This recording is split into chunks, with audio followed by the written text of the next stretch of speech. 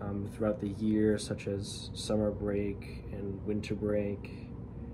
Um, my interests are mainly in sports. I played tennis, occasionally bowling while I was in high school.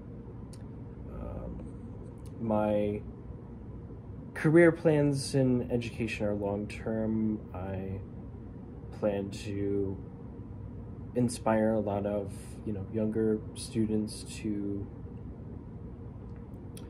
go out into the real world and, and make a difference. And I thank you for taking the time to hear the hear my introduction